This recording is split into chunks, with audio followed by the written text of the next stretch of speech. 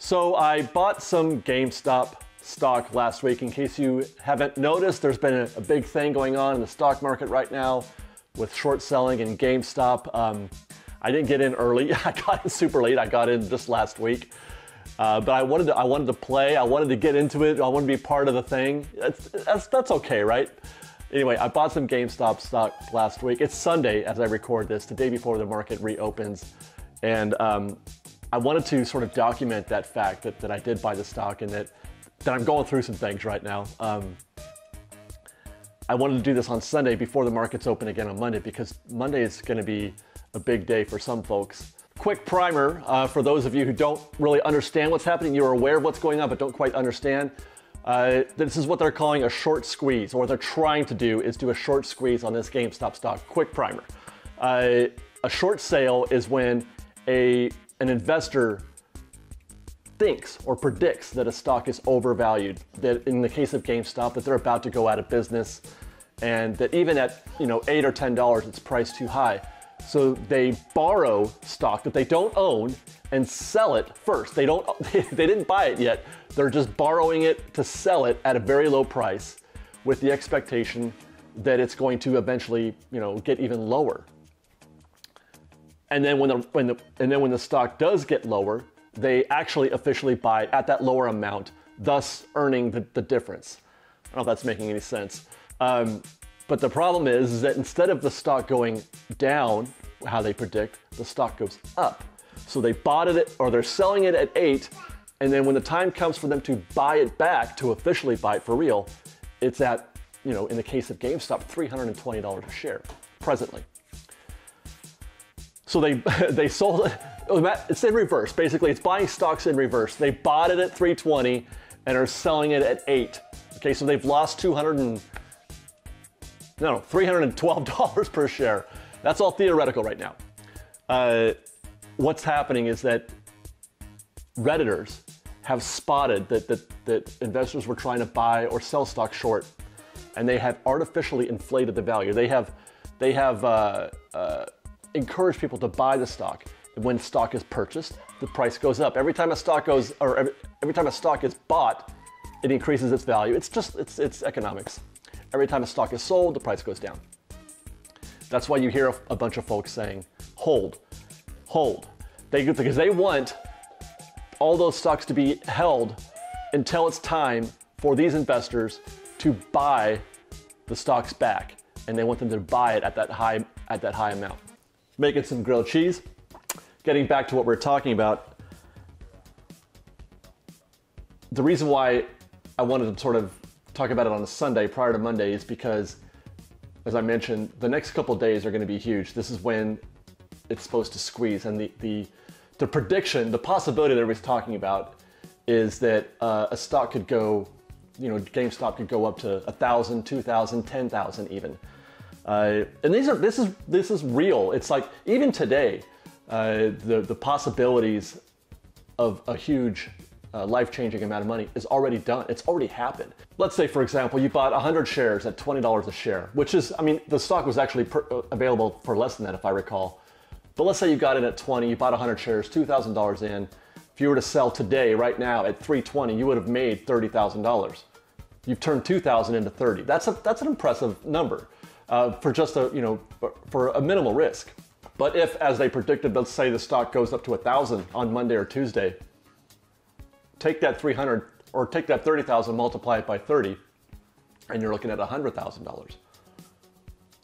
Could even go more. And there are people who own far more stock. I didn't, I got in late. I, only, I got in at 250.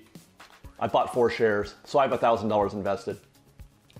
It's just for fun. I, I, I bought enough so that you know, it might be an interesting amount of money, but not so much that I'm putting anything at risk. I can afford to lose $1,000 on um, on GameStop stock, but I did get in on AMC at 10. I have 100 shares at 10. If AMC goes through the same thing, I have 100 shares at 10. If that goes up to even 300, then that's that's a reasonable amount of money. It's the kind of money that makes it possible for me to focus completely on Fresh Baked and, and Royal Dorks, which is something that I've been trying to do for years. I've been trying to elevate the channels to the point where I can actually just survive on that income alone. right now I can't, especially because we just bought a house, so we're you know heavily invested on that. Which, by the way, that's doing really well uh, in terms of its market value. That's going up. But anyway, the, the point I'm trying to get at is that this is a, an important couple of days for me, and I'm trying to be like calm about it. I'm trying to be calm and like, but I mean, if it, if, if the miracle happens,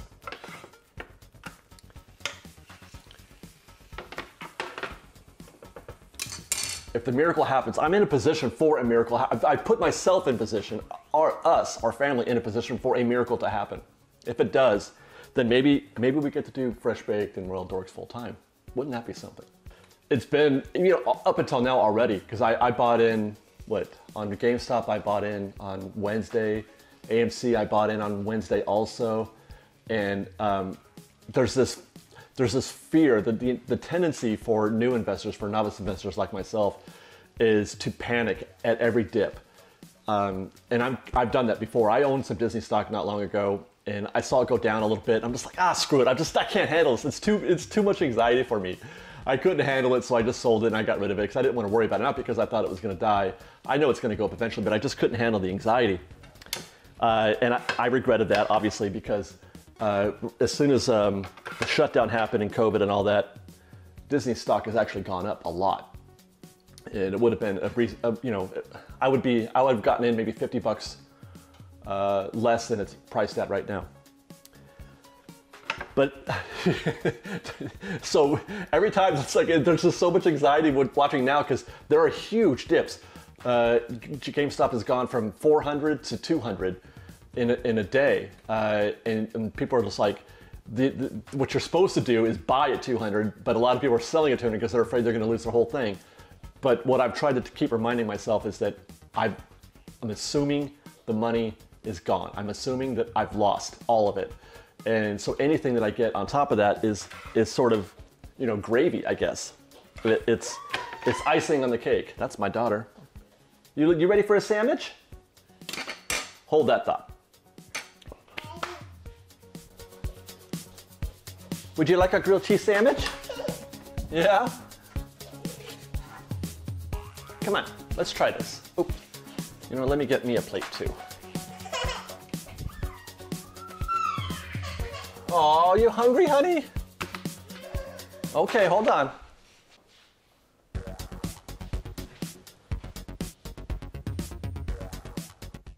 How's your sandwich? You like it? She's having ravioli in a grilled cheese sandwich. Nom nom nom nom nom. Nom nom nom nom nom. So the trick, the thing that I'm trying to do is remove the fear and hold on to these stocks even though you know news is coming out that a lot of the big investors have already sold their GameStop stock. It's not known if that squeeze is ever going to happen. I mean, the squeeze has already happened to some extent. It's gone from single digits to 300 plus. Lots of people have sold. I read a story about a 10 year old kid who uh, they didn't say how much he, he earned, what his net gain was, but it was the percentage was something like 500%. So multiply whatever you would have put in as a as a as a 10-year-old. $10, $50, whatever. 50 times 500 is a lot, okay? Uh, whatever. it's a lot. So tomorrow, Monday, uh, you know, I'm gonna go through some things. I'm gonna be watching. I've never hit the refresh button so many times than I have in these last couple days watching these stocks. As far as that goes, I got in just to be a part of it, just to say that I played a little bit in the in the GameStop thing. But even let's say I bought at 250. I mean, if it goes up to a thousand, then uh, I make uh, what a couple thousand dollars. I make uh, three or four thousand dollars. It's not life changing money, but it's fun. I don't think it's going to though. It doesn't feel like it. To me, it doesn't feel like it will. But there's still hope for the AMC stock. What's got to happen though is like we got to get that squeeze has to happen. Like I said, I bought 100. I think I have 100 right now at 10, which was is another thousand dollars. I can. I don't want to lose a thousand dollars, but I can. I you know, I'd be okay if I did. It's a risk, not a, not a big one, but really what I feel like it is is it's an investment in a miracle, a possible miracle. and this is not new for me. I, it's weird how how like obsessed I've gotten with this, and this is something that I've done in the past, where I'll get into a thing.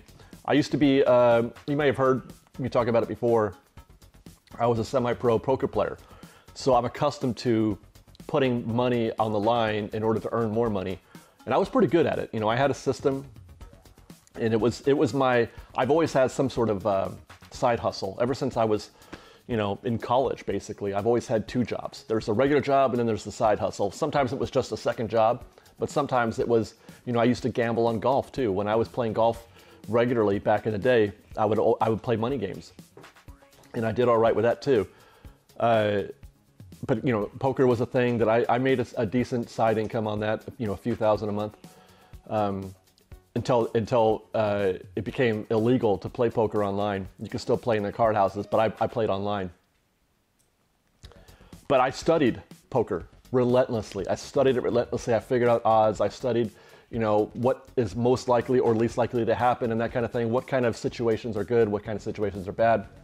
When to knowing knowing when to fold, right? And that's that's the stock market is just like that. I mean, the stock market is literally gambling. It literally is. Now, there's you can educate yourself and you can you can improve your position, but the way that most what they call retail uh, players do is they, they don't know as much as the insiders know. So it's it's more like a gamble than it is an investment. Different word, I guess. Um, and I know that this is a gamble, but it's one that, that the, the upside is so high that it's worth the risk of thousand dollars. So I want anyway. I guess what I'm saying is that I wanted to sort of put this video out there